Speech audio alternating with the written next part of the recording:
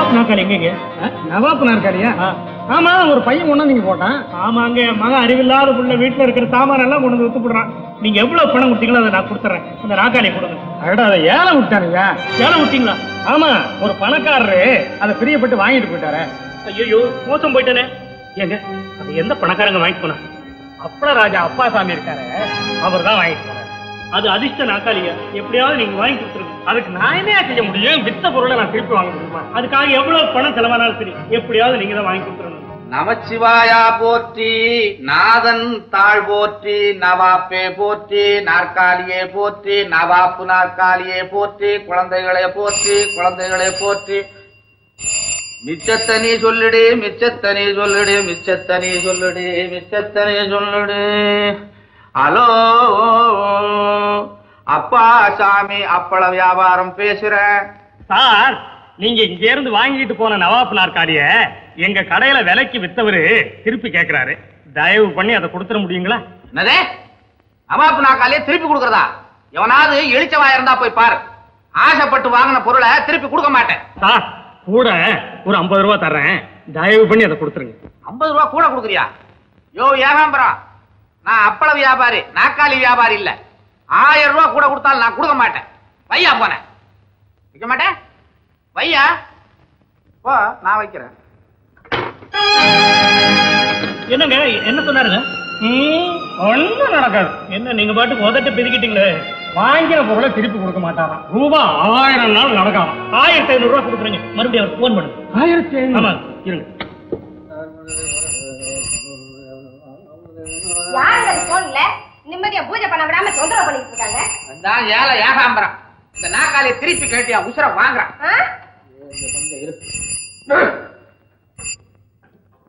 Hello? அப்பா சாமி அப்பள வியாபாரம். நான் தான் ஏகாம்பரம் பேசுறேன்.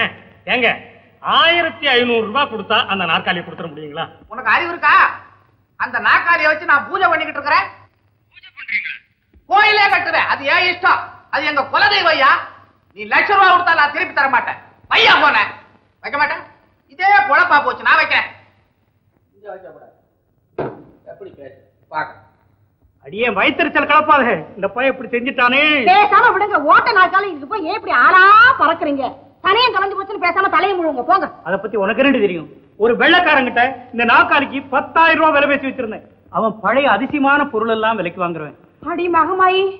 இது என்கிட்ட முன்னாடியே சொல்லிருக்க கூடாதா பந்தோபஸ்தா வச்சிருப்பேனாங்க. பத்தாயிரம் ரூபாய் ஐயோ ஒரு வருஷம் ரேஷன் வாங்கியிருப்பேனே. அல்பம். எப்ப பாரு ரேஷன் ரேஷன் அப்பா, ஏண்டா உனக்கு என்ன துணிச்சல் இருந்தா என்ன கேட்காம நாக்காளி கொண்டு போய் விலைக்கு வைப்ப நீ? உங்களை என்னப்பா கேக்குறது நான் என் மனசாட்சியை கேட்டேன். சுப்பு நீ செய்யறது சரி அப்படின்னு சொல்லிச்சு செஞ்சுட்டேன். உன்னை பெத்தது மனசாட்சி இல்லடா நான்டா. அயோக்கிய பயில போட அப்படியே போறப்ப சிங்கத்துக்கு வாரா இருக்கிறத விட ஈ இருக்க ஈ.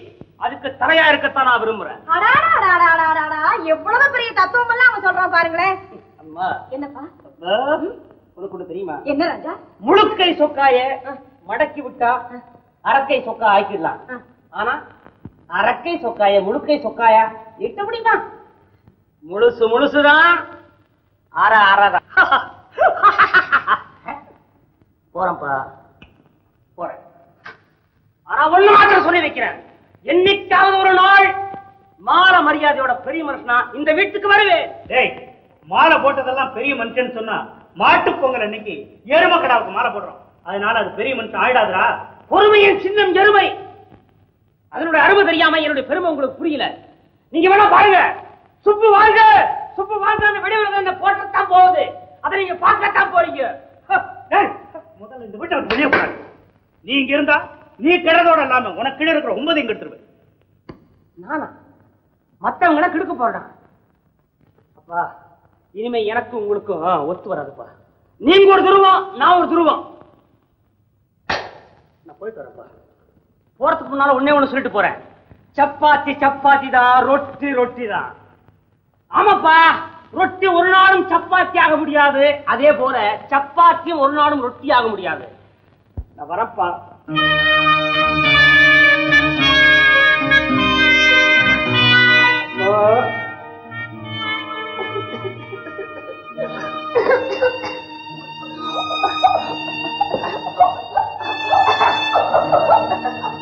என்னங்க அவன் என்னென்னமோ சொல்லிட்டு போறானே பேசாம இருக்கீங்களாங்க? அவன் ஒண்ணு சொல்லிட்டு போறடி.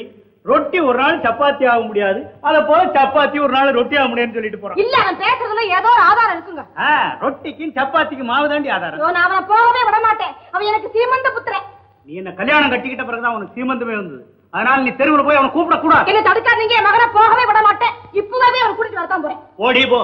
நாலு பேர் கேட்பாங்கல்ல ஏயோ மனைவி தரதரிக்க ஓடுறான்னு. அப்ப நான் என்ன சொல்றேன் தெரியுமா?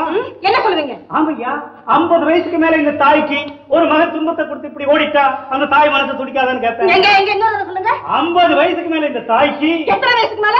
ஐம்பது வயசுக்கு மேல. நீங்க ஒண்ணு அவன் எத்தனை நாள் கட்டு போடுங்க யார்த்தையும் ஒண்ணும் சொல்ல வேண்டாம். டிரைவர் பைய போட்டிருக்கு. ஐயா மாடிக்கு வர சொல்லிருக்காரு. ஏய்,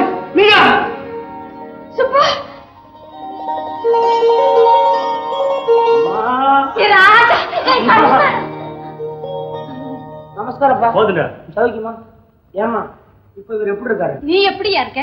இத்தனை நாளா எங்க ராஜா போயிருந்த? ஐயோ என் புள்ள துரும்பா இழைச்சு போச்சே. எவ்வளவுனா இங்க வந்து ஆறு லட்சம் பிஸ்கட்டுமா திங்கிறானே? ஓ, மெல்ல பேசுறீ அவன் காதுல விழுந்துற போகுது என்ன ராஜா எங்களை மறந்துட்டு எங்கடா போயிருந்த?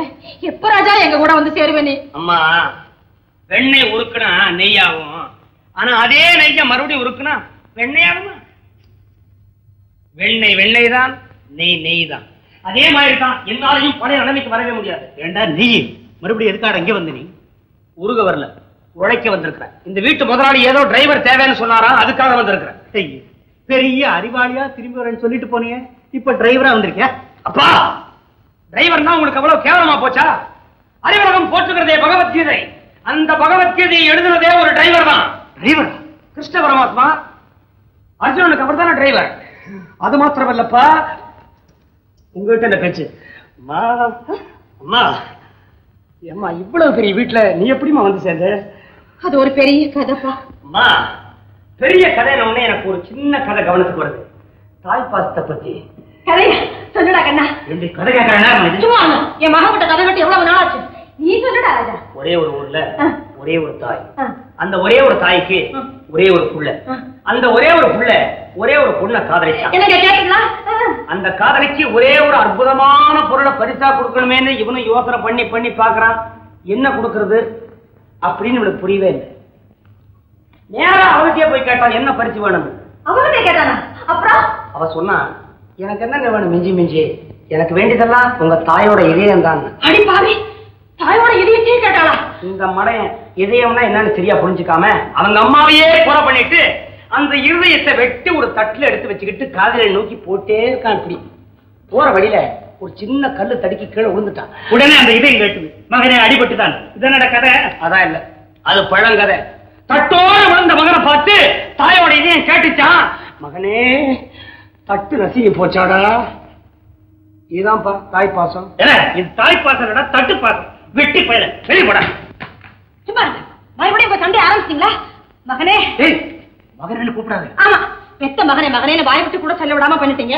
இங்க யார் காதலியாவது விழுந்துட்டு போகுதேன்னு நான் ரகசியமா கூப்பிட வேண்டியிருக்கு. ஐயோ அம்மா! அம்மா! பெத்த தாய் தாம் பெத்த மகனை மகனேன்னு கூப்பிட முடியாத அளவுக்கு பெத்த மகனுக்கு ஒரு பெத்த தகப்பன் துரோகம் செய்யும் போது பெத்த வயிறு பத்தி எரியாதா இதெல்லாம் கேட்கும் போது பெத்த மகனுக்கு எப்படி இருக்கும்? ஒரே ஒரு தடவை தான் அந்த ஒன்றை பெற்றிருக்கா ஏண்டா பெத்த பெத்த பெத்த அடிக்கிட்டு போற நீ? அப்பா வாடா மகனே. வாடா. மகனே வா. நமஸ்காரம் அண்ணா. அப்பா இது யாரு? அந்த மூத்த மகன் சுப்பு. இவனுக்கு பதிலா தான் நீ இங்க இருக்க. நான் இருக்க வேண்டிய இடத்துல தான் துரை இருக்காரா? சிங்கம் இருக்க வேண்டிய இடத்துல சிறுவரியா சந்திரன் இருக்க வேண்டிய இடத்துல சாம்பரா வைரம் இருக்க வேண்டிய இடத்துல வைரம் இருக்க வேண்டிய இடத்துல வைரம் இருக்க வேண்டிய இடத்துல என்னைக்கு விரும்பினாலும் இந்த இடத்தை விட்டு கொடுக்க நான் தயாரா இருக்கேன். அது நடக்காது ரவி. இவன் இந்த வீட்டுக்கு வந்தா என் மகங்கிற உண்மை தெரியும். அப்புறம் அப்பாச்சாமி நம்மள எல்லாம் அடிச்சு விரட்டுவாரு. டேய் நீ இந்த வீட்டுக்குள்ளே வரக்கூடாது. அது எப்படிப்பா முடியும்? குரங்கு போற பக்கம் எல்லாம் கூடவே வாழம் வந்துதானே தீரணும் அந்த வாளை நான் வெட்டிடுவேன் சரி. வாழா குரங்கா நீங்க இருங்க. நான் புள்ளன்னு காட்டிக்கல. ஆனா அதுக்கு ஒரு விலை உண்டு. என்னடா வேலை?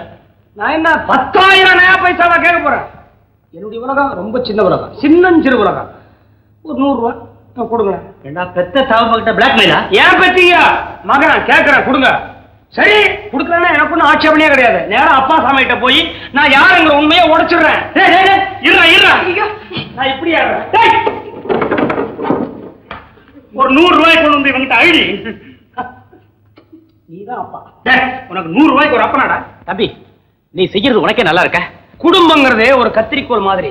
நானும் எங்க அப்பாவும் எப்போதுமே எதிர் முதிர்மா தான் போயிட்டு இருப்போம் ஆனா குறுக்க எவனாவது வந்தானாக்கா ரெண்டு பேருமா சேர்ந்து ஒரே வெட்ட வெட்டி தள்ளிடுவோம். இந்தாடா பணம். பரவாயில்லையே.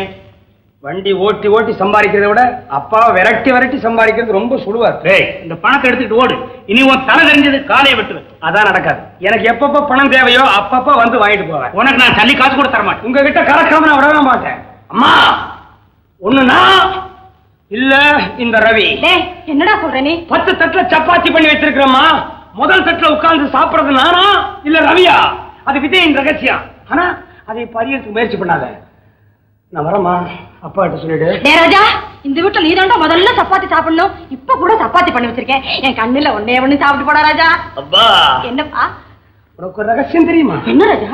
சப்பாத்தி சப்பாத்தி தான் ரொட்டி ரொட்டி தான் போட வழியா